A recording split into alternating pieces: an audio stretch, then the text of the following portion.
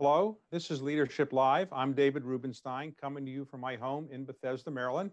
On this show, I've been talking to executives about how they're managing through the COVID 19 crisis. And today, we're very fortunate to have Michael Evans, who's the president of Alibaba. Welcome, Michael. Thank you, David. Nice to be with you. Where am I getting you today? Where are you coming from? You're getting me in Canada, where I am. Uh, have spent quite a lot of time over the last couple of months working. I should disclose to people that don't know Michael that well that Michael is a Canadian, but he also is beyond being a business executive, and we'll go through his career in a moment. He was an Olympic athlete who won a gold medal in the 1984 Olympics. Uh, what was that like to win a gold medal? Uh, well, the thrill of victory, for sure, um, but also a very emotional experience. And in full disclosure, I did it with my twin brother in the boat as well. So that was a a particularly unusual and unique moment in our relationship and also for our family. So you are still a rower? You still row for fun now? Casually only. Okay.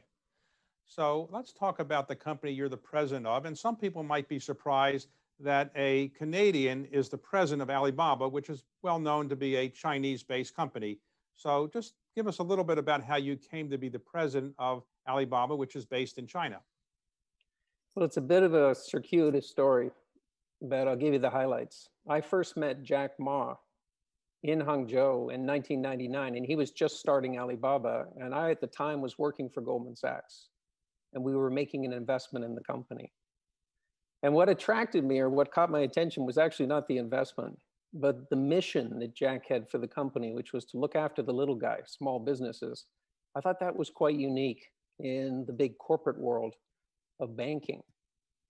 So I stayed in touch with them and his team over the next 15 years, actually ended up spending almost nine years living in Asia. So actually got quite close to Jack. And when I left Goldman Sachs in 2013, the first people to call were Jack and Joe. And they said, hey, we're going to take this company public. We want you to come on the board, which I did, helped them get public. And immediately after they went public, and I should have seen this coming, they said, why don't you join our team and help us globalize? Because you know us, you know Alibaba, you know China. You can be very helpful in the globalization effort. And so I did. And, you know, looking back on that, David, I have to say, uh, that was a huge opportunity and, you know, hard to believe, a dream come true.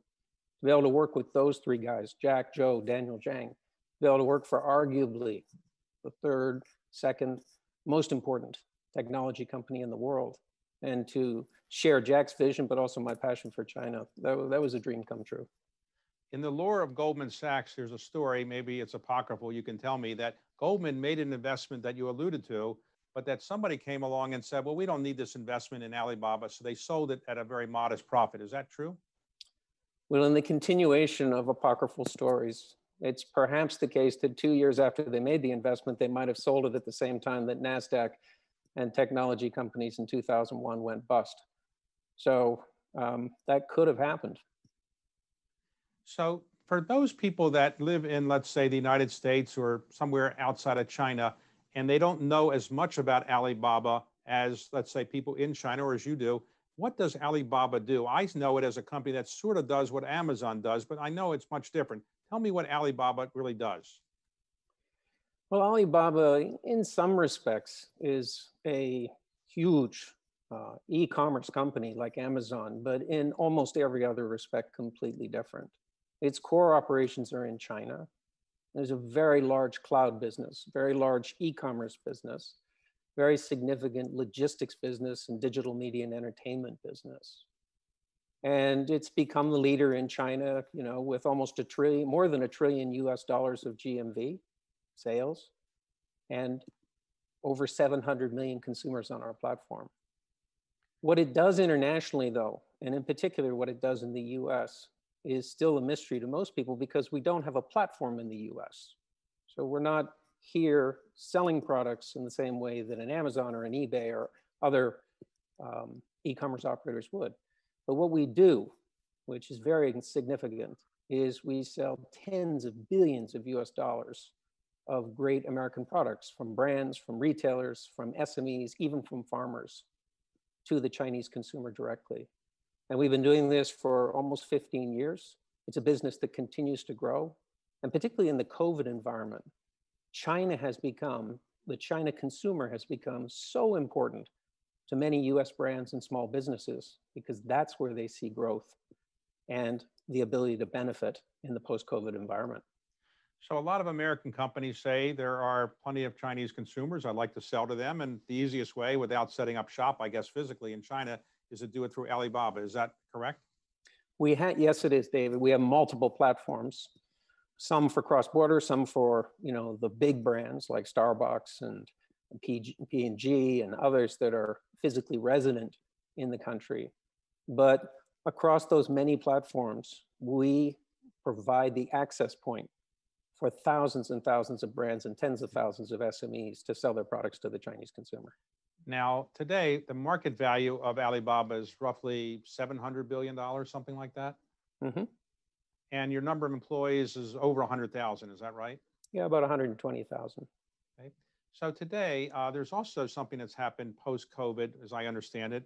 Many people in the United States want to get products like uh, PPE products for healthcare related benefits, and the only source was China. So you sold a lot of products, I assume, through Alibaba to Americans uh, to help them with through the COVID crisis. Is that right? Not quite.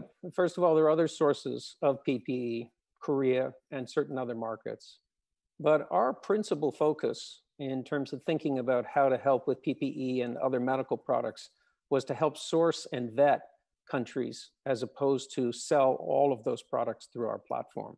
So the work that I did with Governor Cuomo, for example, for New York State, was really not to sell New York State products through our platform, but to help source from reliable providers and also vet the quality of the product mm-hmm. before the procurement teams bought it. So Governor Cuomo or his staff contacted you and said, we are having trouble getting PPE. Can you help us? Is that essentially what happened? And you helped facilitate that? No, a little bit the other way around, which is I called Governor Cuomo and said, I'm a Canadian, but live in New York City and care about my state and the city. It's becoming clear to me that New York is becoming the epicenter of coronavirus in the United States. What can we do? What can I do to help? And he said, Wow. He said, This is great. Please, let's talk. Let's figure it out. And together with his team, we did a huge amount of vetting and sourcing of PPE for New York State and for the hospitals. So in China, has there been a shutdown of the whole country the way the United States sort of shut down and everybody's been working from home, or has it just been in the Wuhan area that people were kind of shut down? No, there was a period of time when Wuhan was clearly a major problem and infection was starting to spread beyond the province that they shut the whole country down. And we have employees all over China, many concentrated in Hangzhou and Beijing, Shanghai, places like that, but also in many other places, particularly for our B2B business. And we sent all of them home to work from home for several months. So in that case, how did you service your employees? I, through technology, you can obviously communicate, but if people want to buy an Alibaba product or on your Alibaba uh, platform, you had to have people at the warehouses putting it in and then shipping it. Is that right? You're correct. So there were a small number of employees that were still required to have a physical presence in key parts of our business, not least of which is the technology platform to make sure that it would continue to run properly. But the vast majority of our employees were working for home, from home virtually. In the logistics businesses, and you focused on an important area, we're delivering more than 80 million packages a day. So in order to continue to satisfy the demand of consumers who were ordering even more things online, it's very important to get that logistics business running properly and to figure out how to do it safely for the employees, but also for the customers who are receiving the packages. Now, the employees who are working from home, is it now that they're back in their offices or they're still working at home to some extent? Substantially everybody in China is back in our many offices but almost all of our international employees are still working from home. So in your case, you are working from the United States uh, and obviously from one of your homes, let's say. Uh, how difficult has it been to do that? It hasn't been very difficult. It's just been such a huge change. On average, I was going to China once or twice a month, so 15 to 20 times a year. I haven't taken a trip to China since after you and I saw each other in Davos this year. And the quarantine restrictions make it almost impossible to go there and be able to work. So I expect that for the rest of this year, we will have to continue to conduct things virtually. So that's that's been a little bit of a of a of a big it's a big shift. It's a huge shift. But you know, the silver lining is allowed me to spend a lot more time with my family. So that's been great. And Alibaba is not trying, I guess, to compete with Amazon in the United States. In other words, setting up a whole infrastructure of the type that Amazon has, that is not in your immediate plans because you've already got a big market in China and other countries. Is that fair? Our immediate plans in the US are to keep doing what we're doing. It is such a big cross border business, sending all those products to China uh, it's so beneficial to those brands and those SMEs and farmers. We're going to keep doing that. That is going to be our major focus for quite some time. Now, I knew Jeff Bezos uh, when he first started the company pretty much. And at that time, he told me he had better software. And I kind of rolled my eyes because there were other people already selling books over the internet. Uh, Barnes and Noble was already selling books over the internet. What is it that Alibaba did that made it uh, transcend all the other companies that were doing similar things to what Alibaba does? There was there a secret sauce that Alibaba had that made it rise up to be the top company in this area? You know, if you go back to the early days, David, and you think about the internet in China, in 1999, when Jack started this company, the internet was well known to all of us in the West, but people were just reading about the internet in China. Nobody really knew how to use it, much less commercialize it. And what Jack did is he figured out how to do that. And in doing that, he also was able to develop a sustainable business model that could grow. So that was the beginning of the B2B business, which then became the B2C business. But he did two other things that were very important and allowed him to very much distinguish himself from the rest of the competition. His mission was to help the little guy, the small business. And that seemed like a peculiar mission to many people because why not run after the big corporations? And then he developed the culture, which was one of customer first, employees second, and shareholders third. And people found that very strange, including us when I was at Goldman Sachs when we made the investment in 1999. But that coupled together with the innovation, looking after the customer, thinking about how to grow their businesses, that became the secret sauce because none of those customers ever wanted to leave. Did Jack Ma have a background as a technology person? Was he an engineer, an investment banker, private equity person? What was his background that enabled him to have these insights? None of the things that you just suggested. In fact, Jack regularly jokes that he doesn't know how to, how to use a computer. Jack was an English teacher. Okay. But that teacher and the teaching skills that he has were hugely important in developing the company, instilling the culture and the values in the leadership team and in the employees, and growing the business. And he's still a teacher today. Uh, he's largely retired from the company now. I think he's going to get off the board at some point in the near future. And uh, is that right? He's retired from the company. That's correct. But another of the founders is still involved in the company. That's Joe Tsai, who's known to Americans as the owner of the basketball team at the uh, the Nets. Is that right? Right. That's correct. So he's still pretty actively involved. Joe is our executive vice chairman. He's very actively involved in the day-to-day businesses. I speak to him two or three times a week, and he's a he's a core member of our senior leadership team. So, given the U.S.-China relationship post-COVID, which is obviously a little more tense than it was pre-COVID, What's it like to be the president of a Chinese based company operating in the United States? Is it more difficult to get things done? Do you have government people coming after you a little bit, telling you uh, to do this or that? Or what's it like? Actually, it's not difficult at all because people are always surprised when I sit down with them, US government officials, and I talk to them about what we're doing in the United States. And they become very supportive when they start to understand the impact and the scale of what's being sold by American companies to the Chinese consumer. Uh, they may have had misperceptions about what we were doing based on what other Chinese companies do, but once they hear the story and they understand it, they're very supportive. And they understand that that is going to be our core mission in the US going forward.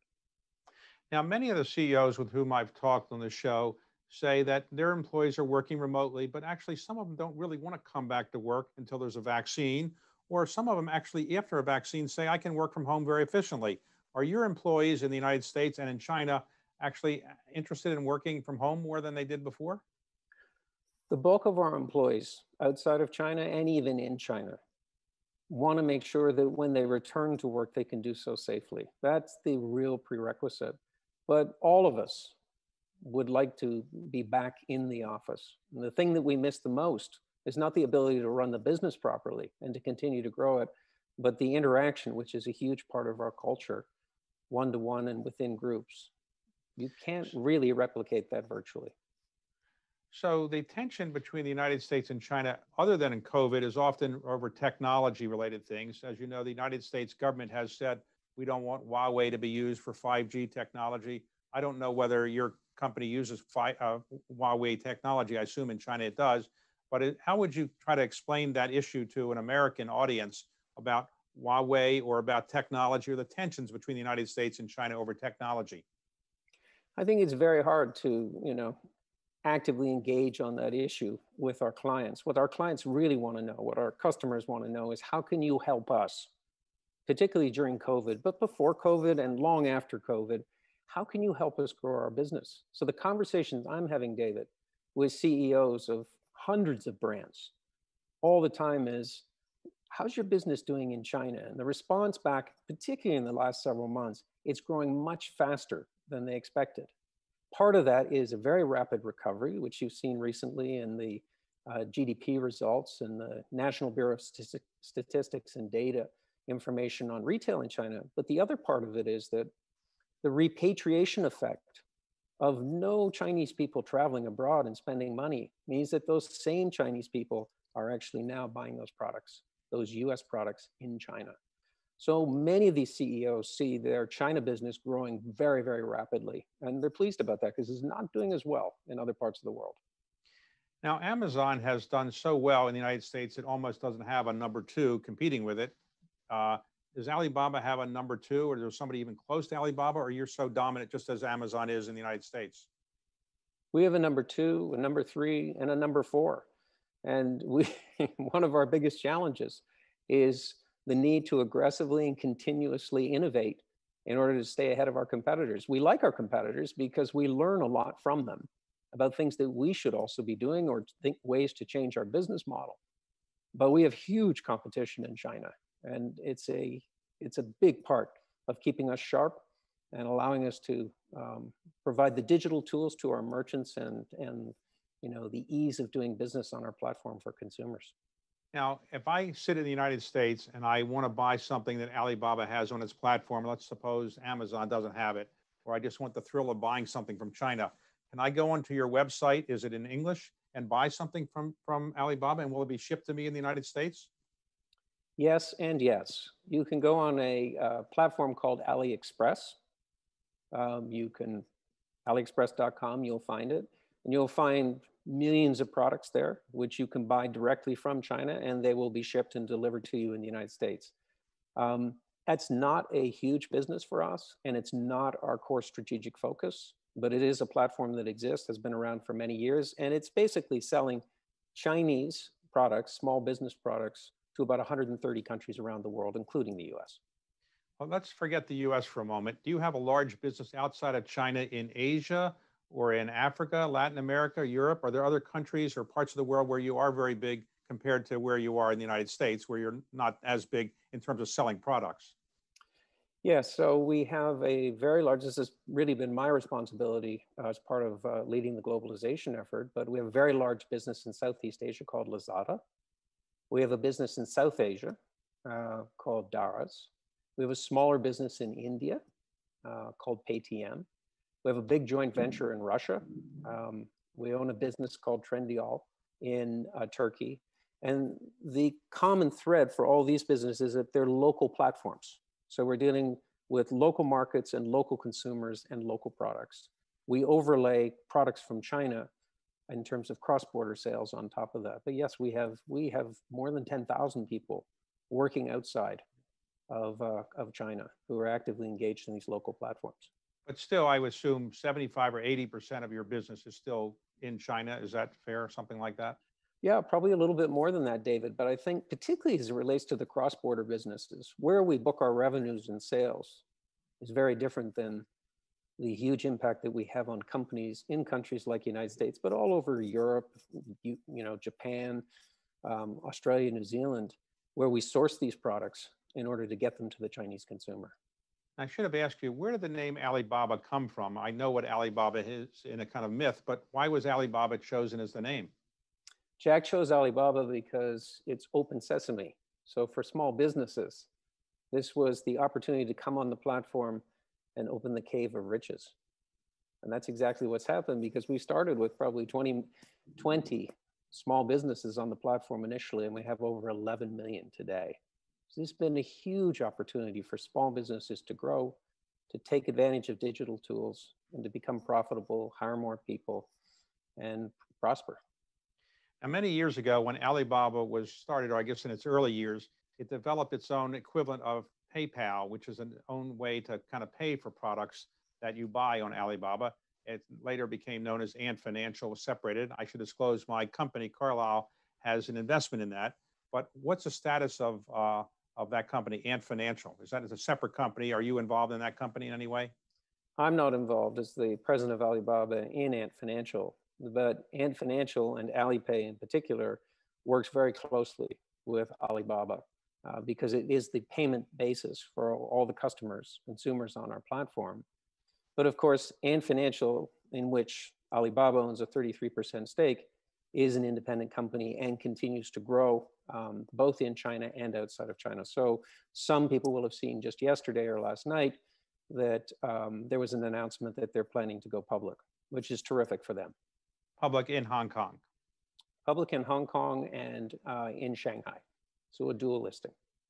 And for a company like Alibaba, the controversy going on in Hong Kong is not that relevant because your core business is China and not Hong Kong. And that has that produced any tensions within the company or problems for you? What's going on in Hong Kong now?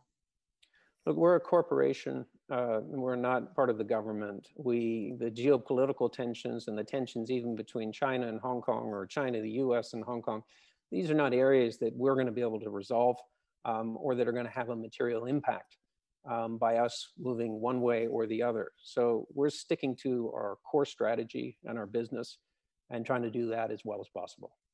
So for those people who are watching who are not living in China, uh, when the average person now is walking down the street in Beijing or Shanghai, are they wearing a mask? Is are masks very common now?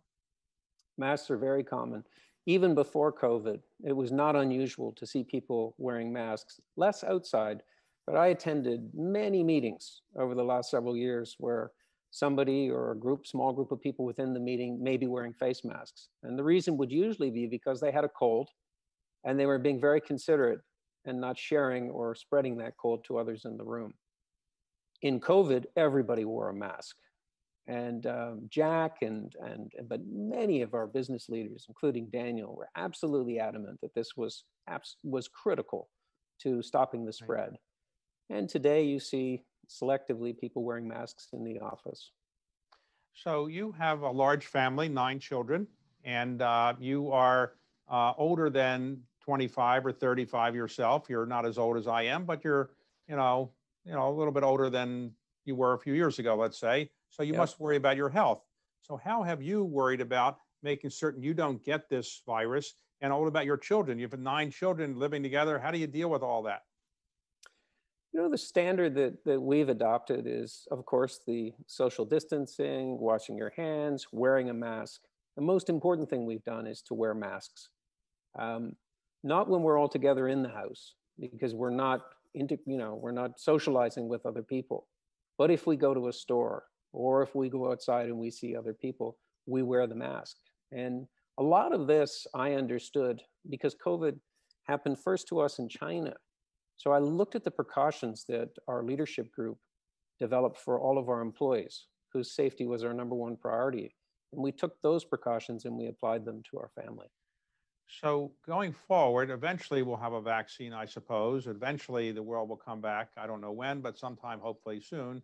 Will there be anything you learned in the COVID period that you will use going forward? Will you manage the company differently? Will you interact with your colleagues differently? Will technology be different? What would be different going forward in your view at Alibaba? You know, the big theme, David, that um, that characterizes the post-COVID environment, and it's already taking place in China and outside of China, is this notion of digitizing um, or having a real digital strategy for businesses that have offline operations. And we talk about in the context of new retail, which is the integration of online and offline, but the digitization of the entire retail value chain. So that's everything from manufacturing to your supply chain, to your warehousing, to your offline stores and your online virtual store, and the integration of all of that.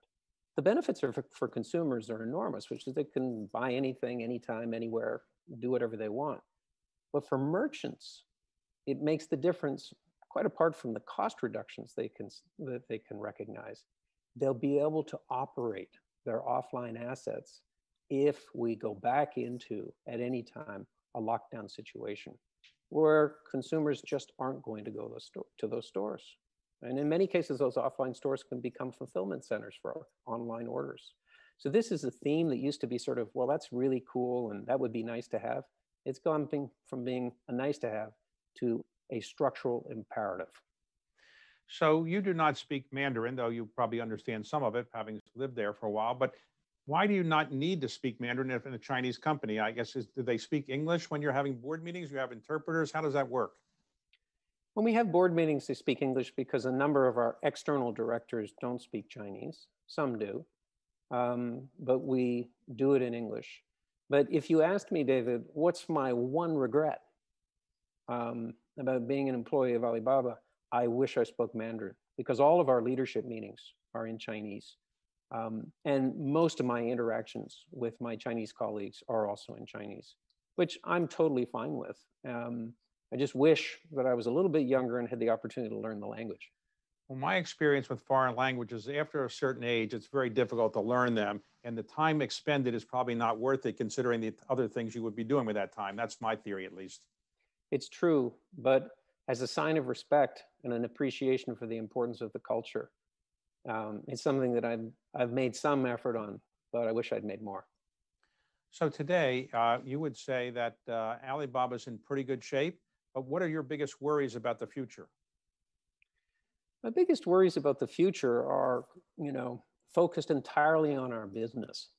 Um, in China, our biggest challenges are how do we take this enormous platform, which is actually quite complex, but make it easy for consumers and make it a great um, platform for merchants to develop their, their, their businesses.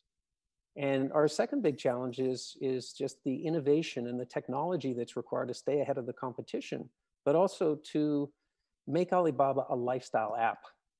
What does that mean? That means, yes, of course, it's a place you go to shop, but it's also a place that you can live and work and play. These, this is a big challenge. It's very hard. So I was not much of an athlete, obviously not an Olympic athlete, but the key to being an Olympic athlete is just hard, hard work and just dedication and focus. And, you know, for anybody wants to be an Olympic athlete, uh, what would you recommend that they try to do? Well, in large part, David, that depends what sport they play. But teamwork and discipline, you know, my heart goes out to the people in um, that missed the Tokyo Olympics. I suffered that similar experience in 1980 when President Carter boycotted the Moscow Games and Canada followed suit. So I know what it feels like. Um, and my statement to them is stick at it. Four more years is a painful amount of training, right. but it's worth the wait and you will win. And do you think there will be an Olympics next year? I certainly hope so, but we're going to rely on President Bach, the IOC, and the Olympic organizing committees in Tokyo to make that final decision. But uh, fingers crossed for all of those athletes and everybody else associated with the games. So uh, you have a twin brother that you won the gold medal with. Is that right? Now he doesn't work at Amazon, right? not that I'm aware of. No, so he's not uh, doing something similar to what you're doing. Is that right? No, we we started off in investment banking together. It's sort of an interesting story, David, because um, I had initially hoped to go to the Harvard Business School, but was rejected. I was then convinced that consulting was where I belonged, but the consultants didn't have a, a sort of a compelling uh, inclination to make that happen. And then it occurred to me, since my brother was going to an investment bank, maybe I should follow him, uh, which is exactly what I did.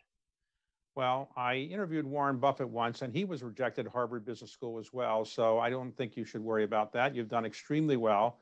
I want to thank you for uh, giving us this time today and congratulations on your success at Alibaba. Thank you very much, David. Much appreciated.